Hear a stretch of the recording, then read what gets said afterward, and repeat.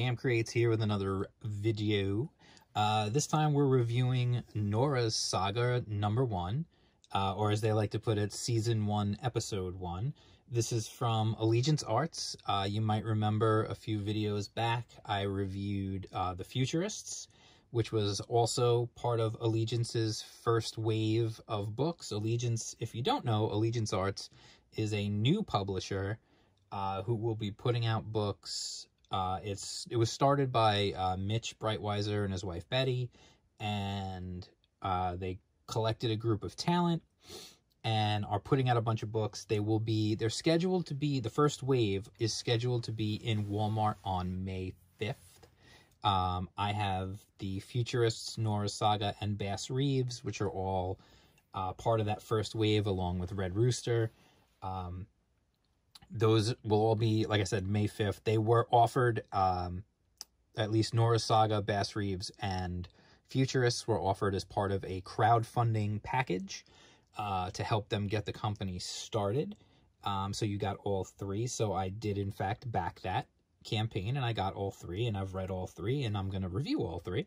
Uh, so you already saw my review of the Futurists and I definitely liked it. Um, like I said, and you can see here it says Founders Edition.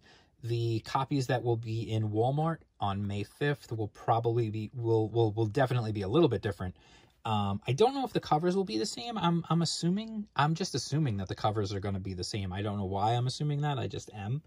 Um, if anybody knows better, let me know. Um, so this book is called Nora's Saga. It is written by Blake Northcott, who you may know from She's written things. She's actually going to be working on a new Catman, uh, Catman, a new Catwoman book. Um, she's going to be, she worked on Executive Assistant Iris. Uh, she's written a couple of, of novels. And she also wrote Everglade Angels with Scott Lobdell, uh, which I also read, which was fantastic. I'll do a review of that at some of some point too.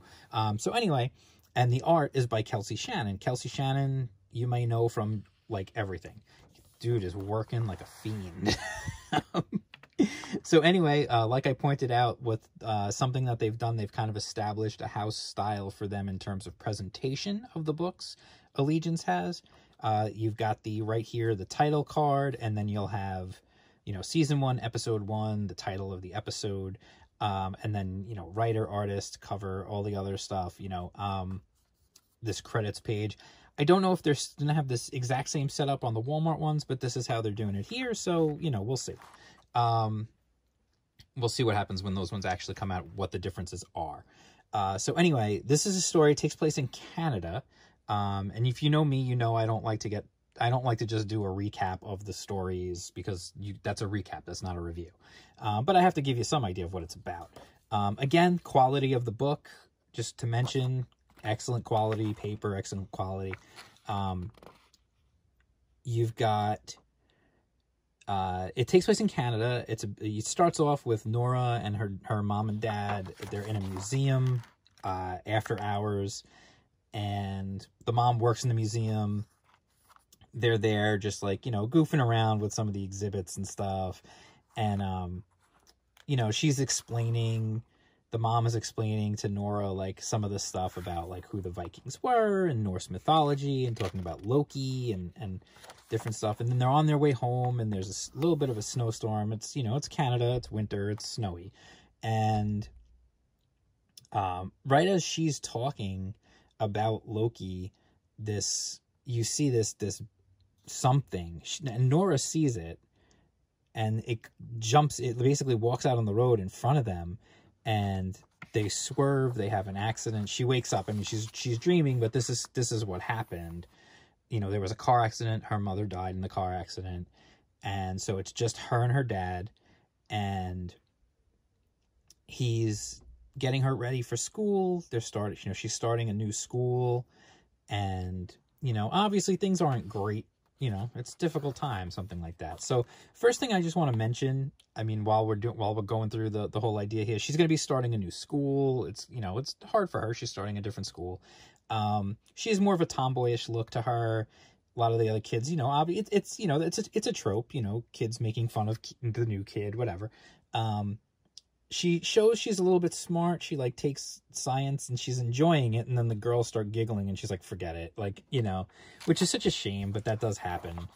Um, so I just wanted to mention, uh, first and foremost, the art. Uh, Kelsey Shannon is a absolute fantastic artist. Um, he does such great expressions on his characters' faces. He does such great motion and he has such a way of doing dynamic action in his art. It really is. I mean, he really, really, really is a talented artist, and the dude just busts out work like crazy. So it's amazing to see like the quality of his work. Um, I would say this is right up there with some of his best stuff that he's ever done. Um, so I'm gonna skip a little bit, um, skip a couple pages. Uh, she Nora convinces her dad to take her out to the mall because she's feeling the peer pressure of the clothes and and not fitting in, and so they go to the mall and she convinces him. And even though it's a snowstorm, she convinces him to go and so they they do go. It's a school night and everything, and, and he's worked a hard day. He like works as a mechanic or whatever, and so they're coming home, and their truck they swerve to avoid a deer, and then you get this amazing splash page, double page spread right here, um, which I, I you know why I called it a splash page because it's splashing in the water.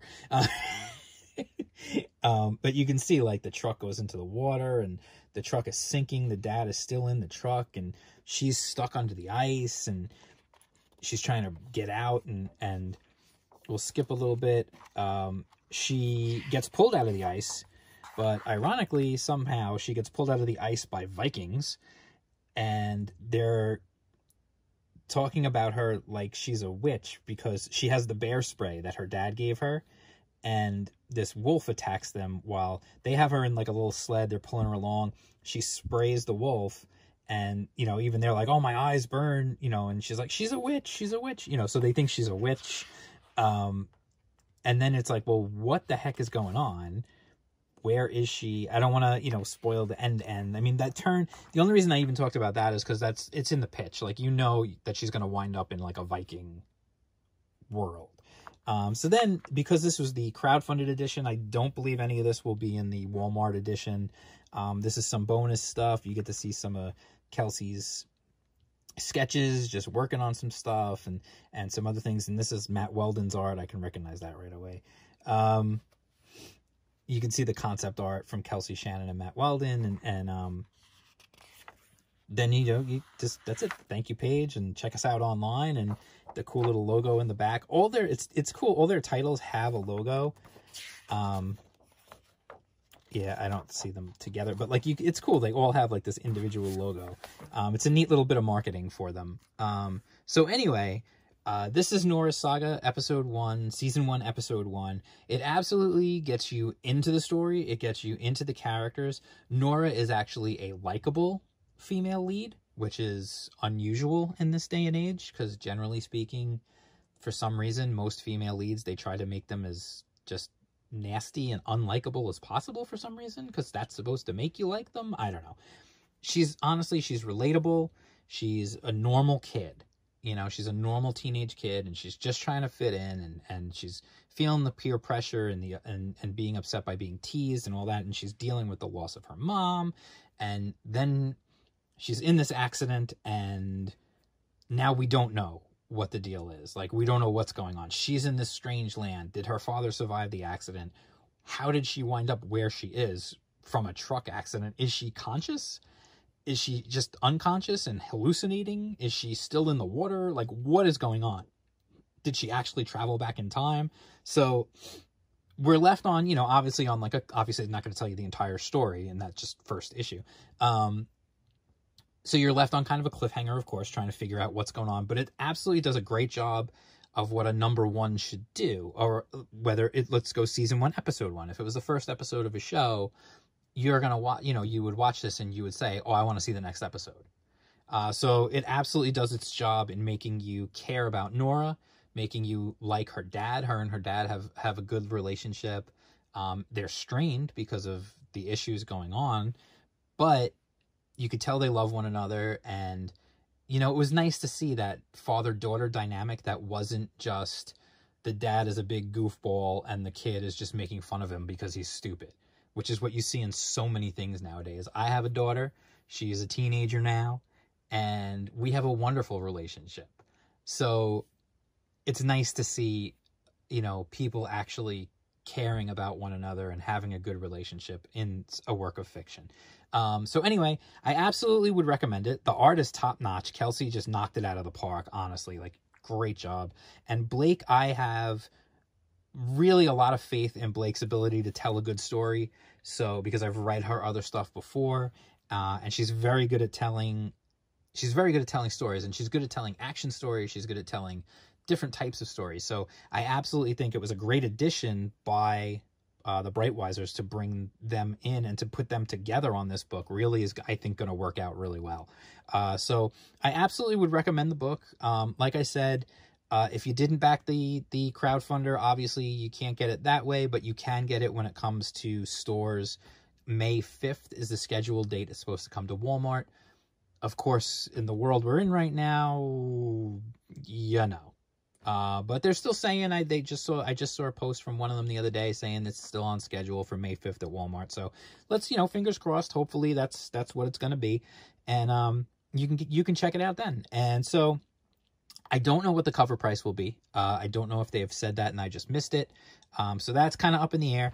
Um, but anyway, um, I absolutely recommend it. It's definitely worth checking out. And honestly, it's a new company with a new strategy and, and new stories. And I absolutely feel like if you're a comic book fan, May 5th, go to your Walmart, provided you can, of course, and pick these books up. I, I really do recommend Futurists, like I showed you guys. I loved that book. Butch Guice's art is ridiculous. That that book is, I think, going to be an epic, epic story. Uh, and this one is really promising as well. So I absolutely 100% recommend uh, Nora's Saga. So check it out when you get the chance. Um, let me know in the comments below if you backed it and you got it and you read it, what you thought. Um, if not, let me know if you're planning on getting it uh, when they come to stores. I'm curious to see how, like, if people know about this, if they're anticipating it or not. Um, because it's a big deal and we're in such a strange place right now uh, as a country. I don't know what the hype is. And you know me, I, I try, I mean, I mention stuff because it's just, it's life, but I try to just keep that stuff aside and talk about the fun stuff here on my channel because that's what it's about. It's comic books. They're supposed to be fun. Um, even when they're scary or, or whatever, or, you know, they're still fun. Uh, so anyway, I absolutely recommend it.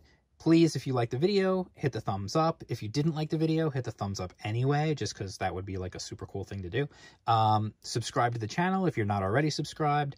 Um, if you are, make sure you're still subscribed because YouTube's been doing some funky stuff. And uh, hit the bell for notifications. You can follow me on Twitter at jam underscore creates. You can follow me on Instagram at jam underscore creates. It's mostly where I share my art and pictures of my dog. Um, you guys know Beans if you've been following the channel for a while. I haven't done a dog walking video in quite a while. Maybe I'll do one of those soon. Uh, God knows we've been taking the dog for lots of walks. Um, so anyway, I'll talk to you guys soon. Stay healthy, stay happy, stay safe. Peace out.